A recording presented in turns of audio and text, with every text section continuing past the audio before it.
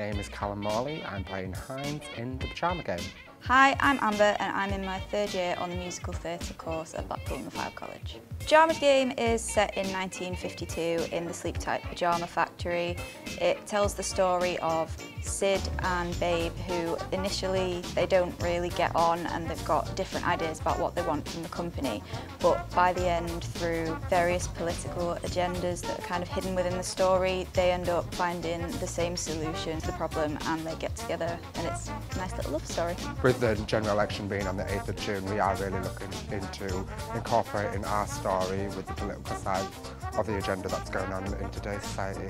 The once a year day is probably the best part because it's when everybody, the entire ensemble, all the main characters are all joined together and it's a big song and a big dance and a big scene. It's like a big party. Now into our second week and it's going extremely well. We're focusing on dances at the moment as well as singing and we're doing acting but that's mainly between the primary characters at the moment before we incorporate the ensemble. The Pyjama Game will be performed at the Grand Theatre Blackpool on the 8th and 9th of June 2017 at half past seven.